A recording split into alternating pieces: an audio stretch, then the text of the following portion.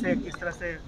नहीं, ये तो अभियान समिति के कार्यकारिणी की बैठक थी, जो लोग उपलब्ध थे। और स्वाभाविक रूप से दो तीन चीज़ों, चीज़ें जो महत्वपूर्ण हैं, उन पर हम लोगों ने विमर्श किया।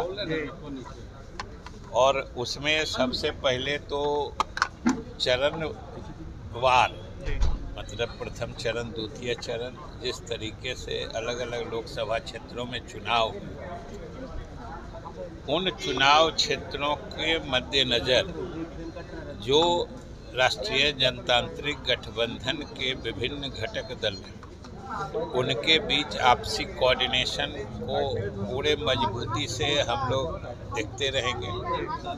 और दूसरी बात जो कार्यक्रम हमारे मुख्यमंत्री जी या प्रधानमंत्री जी का है, चाहे मुख्यमंत्री जी का दूसरे घटक दल के उम्मीदवारों के क्षेत्र में है, या प्रधानमंत्री जी का हम लोग के उम्मीदवार, या हम लोग के दल के उम्मीदवार के क्षेत्र में है, उनमें कैसे अधिक से अधिक लोगों तक हम लोग पहुँच सकें और अधिक से अधिक सफल सभा करा सकें इन सब चीज़ों पर विस्तार से हम लोगों ने बात की है और अभी तक की जो स्थिति है और अभी तक शुरुआती दौर में जो हमारे एनडीए के अलग अलग घटक दल हैं, सबों का आपसी जो कोऑर्डिनेशन है, संयोजन है, ये बहुत ही अच्छा है।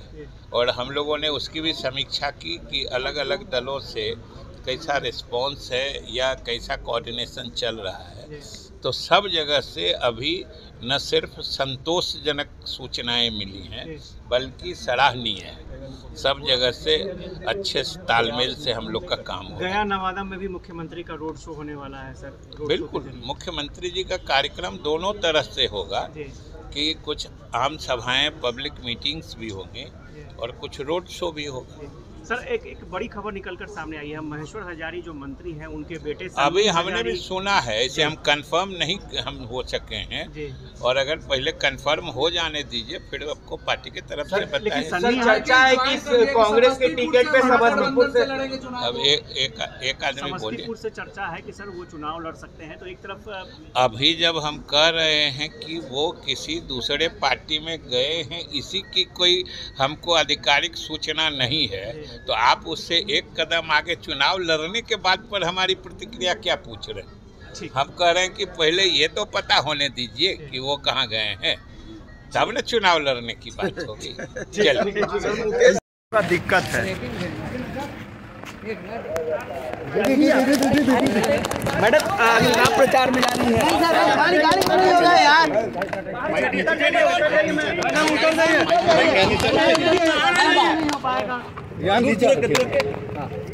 आ, चुनाव प्रचार में निकल रहे हैं आज बैठक है दो तीन जगह पीछे खींचिए ना प्रभात पहले कर लो सेटल हो जाओ। सही माइक जो है इसको थोड़ा सा थोड़ा सा पीछे करो माइक पीछे करो। हाँ, फ़र्स्ट पेयर पीछे करो माइक। अब पूछो। मैम चुनाव प्रचार में निकल रही मैम पीएम लगातार परिवारवाद पर बोल रहे हैं और जबकि कल ट्वीट करके लालू प्रसाद यादव और तेजस्वी यादव ने पीछे ठीक हो क्या दिख रहा है? कुछ देखिए ये सब मीडिया में चल रहा है। कल प्रधानमंत्री जी जमुई आए थे ठीक है? दमाद के लिए प्रधानमंत्री जी दमाद के लिए वोट मांगने आए थे। कहाँ कल परिवारवाद पे बोले? कहाँ परिवारवाद पे बोले? तो ये मीडिया में परिवारवाद आपको भी पता है हमने लालू जी ने अपना सारा लिस्ट जारी कर दिया। तो ये पैमाने हैं। दूसरा ये प्रधानमंत्री इसलिए इस तरह की चर्चा करते हैं अपनी नाकामियों को छुपाने के लिए। जो देश में महँगाई है बेरोजगारी है बहुत सारी चीज़ें जो है उसको छुपाने के लिए इस तरह की बात करते हैं। लेकिन देश की जनता और खास तौर पर बिहार की जनता इनको बहुत अच्छे से समझ गई है और सही समय पर मुझे लगता है अपना जवाब चालीस का चालीस है कि दस साल की बात को लेकर वो तो चार सौ पार कर रहे हैं वो तो चार सौ पार कह रहे हैं। अब जनता देख रही है इसको बताएगी अभी। दस साल के कार्य को कहा कि ये ट्रेलर है अभी पिक्चर बाकी है। ऐसा कुछ नहीं है मुझे लगता है ऐसा कुछ नहीं है। वो सिर्फ़ जनता को भरमाने के लिए और उनको बलगड़ाने के लिए इस तरह की बात करते हैं। मैं बार बार यही कह रही हूँ ना कि वो अपनी नाकामियों को छुपाने के लिए उनका पता है ना डेवलपमेंट में जो वादा किया था उसमें से कौन सा वादा उन्होंने पूरा किया? पंद्रह लाख सबके खाते में आएँगे बेरोजगारों के लिए कहा प्रत्येक वर्ष दो करोड़ नौकरियाँ देंगे। तो किस किसको नौकरी मिली है? किसको नौकरी मिली है? हमने तो बिहार में करके दिखाया है। हमें मौका मिला जो हमने वादा किया था उसको पूरा करके दिखाया है। सत्रह महीने में जो हमने काम किया मुझे लगता है कि आज़ादी के बाद इस तरह का कोई काम ही नहीं हुआ था।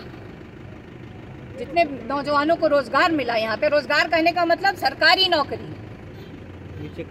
लालू जी पर भी सवाल खड़ा किया कहा कि जो ज़मीन के बदले देखिए लालू जी के बदले लालू जी के ऊपर नब्बे से सवाल खड़ा करते आए हैं लोग आगे भी करते रहेंगे लेकिन जनता हमारे साथ है और हमारा कुछ भी नहीं बिगाड़ पाएँगे। इस बार की फाइट कैसे देखती है पाटलिपुत्र में? चुनाव तो चुनाव होता है बहुत उम्मीद हमें पूरा उम्मीद था कि ये सवाल ज़रूर आप करेंगे। देखिए, दो भाई में आपस में नोकझोंक होता है और हम लोगों को उस समय में जो हुआ, वो मेरे लिए भी अच्छा नहीं था, ना ही हमारे छोटे भाई तेजस्वी जी के लिए भी अच्छा था। और उससे हमें भी नुकसान हुआ और महागठबंधन का भी नुकसान हुआ था। खैर, वो बात हो चुका है, बीत गया है। उस समय में तो सिर्फ़ हमारा नंबर नहीं घोषणा हुआ। इसके लिए हमने थोड़ा सा कह सकते कि क्रोध प्रकट हमने कर दिया था। लेकिन आप कल्पना कीजिए, जिन्होंने हमारे सीने में खंजर भोका, जिन्होंने हमारे विधायक को ले लिया, हमें सरकार से बाहर कर दिया, जो सरकार हमने बनाया था।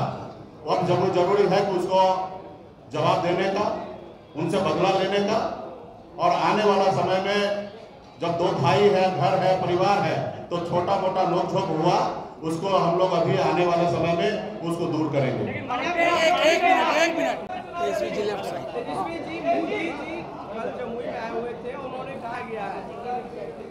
एक बात उनको भी समझना चाहिए। लालटेन का काम क्या है? अंधेरे में उजाला करना है ना? और कई पार्टी के अलग अलग सिंबल हैं। तीर भी है। तो तीर क्यों रखे हो भाई? मिसाइल कर लो अब फूल तो फूले बना रहा है लोगों को। जो फूल है, वो तो सबको फूल बना रहा है, देश की जनता को। तो उसका क्या उपयोग? तो एलईडी का ज़माना है, इसका ज़माना है, लेकिन ज़रा मोदी जी अपने बगल में अपने साथी माननीय मुख्यमंत्री जी से पूछ लेते हैं कि दुनिया खत्म हो जाएगी, काहे ला बोलते हैं? वो किस बात पे बोलते हैं? क्योंकि ज़माना हाईटेक हो गया है। उसी बात पे ना मुख्यमंत्री जी कहते हैं, फ़ोन उन मत चालू करो, फ़ोन पे रहता है सब लोग। अब थोड़ा दिन में दुनिया खत्म हो जाएगा। तो सबसे पहले जो उनके साथी हैं, उनको ना समझाना चाहिए उनको। तो ये सब बेकार की बातें, असल बात क्या थी? कल जमुई में प्रधानमंत्री जी ने शुरुआत की। कल हमने ट्वीट किया, परिवारवाद को लेकर के। लेकिन कल प्रधानमंत्री जी ने एक शब्द भी परिवारवाद के खिलाफ नहीं बोला। और पहला चरण में जहाँ भी चुनाव हो रहा है, एनडीए अलायंस ने सभी परिवार वालों को ही टिकट दिया है। तो प्रधानमंत्री जी कुछ भी कहते हैं, भाजपा का लोग हम बोलते हैं ना कि गोबर देख करके बोलेगा कि दो खाओ हलवा है। समझे? तो प्रधानमंत्री जी की बात पे रही, लेकिन आपको अमित शाह जी से भी पूछना चाहिए, और हम पूछना चाहते कि भैया अभी ये बता दीजिए जनता को कि प्रधानमंत्री जी वाला कौन कौन सा जुमला है? फिर बाद में मत बोलिएगा, अरे चुनावी समय में तो जुमले बोले जाते हैं। लेकिन वो लोग जुमला बोलता है, और हम लोग जो कहते हैं वो करके दिखाते हैं। हम लोग सत्रह महीने आए तो पाँच लाख सरकारी नौकरी हम लोगों ने दिया। कल मुख्यमंत्री जी भी कह रहे थे, नौकरी का ज़िक्र कर रहे थे, बताओ जो मुख्यमंत्री 2020 में कहता था कहाँ से पैसा लाएगा?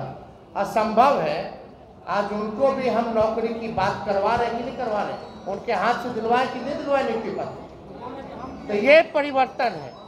यही फ़र्क भाजपा और महागठबंधन में है। हम लोग जो कहते हैं, वो करते हैं। वो उजागर हो चुका है भाजपा का। यानी जो बात हम लोग कहते थे कि संविधान और लोकतंत्र पे खतरा है,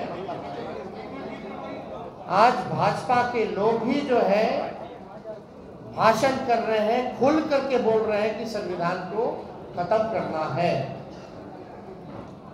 ये बाबा साहब अंबेडकर का लिखा संविधान जो देश को जोड़ने का काम करता है, जहाँ सामाजिक न्याय के साथ साथ सबका सम्मान है, सबका अधिकार दिया गया है।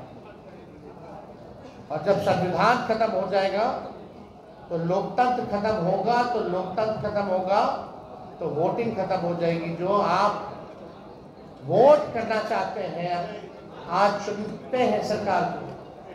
इनका असली एजेंडा है कि उस हिसाब से खत्म हो जाए और एक तानाशाही पूरे देश में जो है वो लागू हो जाए। और कोई पहली बार भाजपा के नेता ने नहीं बोला। दक्षिण भारत में भी भाजपा के लोगों ने बोला, राजस्थान में भी भाजपा के नेता ने बोला, और लगातार ये बिहार में हो रहा है। जब लोग जागरूक हो गए, जब अधिकार के लिए लड़ने लगे जब दलितों की पार्टियाँ बनने लगी, जब अति पिछड़ों का पार्टियाँ बनने लगा, पिछड़ों की पार्टियाँ बनने लग गई तो बीजेपी को डर हो गया। उसलिए चाहते हैं कि संविधान को खत्म कर दिया तो आज बेहद खुशी है कि मुकेश साहनी जी ने आज महागठबंधन जो है, उसमें शामिल हुए हैं। और हम सब लोग पूरा राष्ट्रीय जनता दल परिवार, सभी हमारे महागठबंधन के सभी साथी, इनका हम लोग स्वागत करते हैं। और आप लोग सब लोग जान रहे हैं कि आज शामिल हो रहे हैं ये, लेकिन इससे पहले महागठबंधन में हम लोगों ने सीटों का ऐलान कर दिया। सीटें बता दी गई हैं। कौन सा सीट कांग्रेस के खाते में गया और कौन सी सीटें जो है, लेफ़्ट पार्टी के खाते में गई? और कौन कौन लोग कितने कितने सीटों पर लड़ेगा? तो आज मुकेश साहनी जी ने एक महत्वपूर्ण निर्णय लिया है, बिहार के हित के लिए, संविधान और लोकतंत्र आरक्षण को बचाने के लिए। तो हम लोग इनका स्वागत करते हैं और साथ ही साथ हमारी भी जिम्मेवारी बनती है कि इनको साथ लेकर के हम चलने का काम करें और इनको भी सम्मान दें। तो उसी तर्ज पर, जैसा आप लोगों के जानकारी में है, जैसा महागठबंधन ने ऐलान किया था इसी जगह पे, कि 26 सीटें जो है, राष्ट्रीय जनता दल चुनाव लड़ेगी। तो हम राष्ट्रीय जनता दल अपने कोटे में से, उस 26 सीटों में से हम तीन सीट जो है, मुकेश साहनी जी को हमारे पार्टी का निर्णय हुआ है। पार्टी का निर्णय हुआ कि तीन सीटें जो है, वो मुकेश साहनी जी को दी जाए। राष्ट्रीय अध्यक्ष जी का भी निर्णय है। और वो तीन सीटें पहला गोपालगंज है, दूसरा झंझारपुर है और तीसरा जो है मोतिहारी सीट जो है, ये फैसला हुआ है कि ये तीन सीटों पर मुकेश साहनी जी की पार्टी चुनाव लड़े अत्याधुनिक सुविधाओं से lace God Grace CBSE school Chaugai nursery से दस तक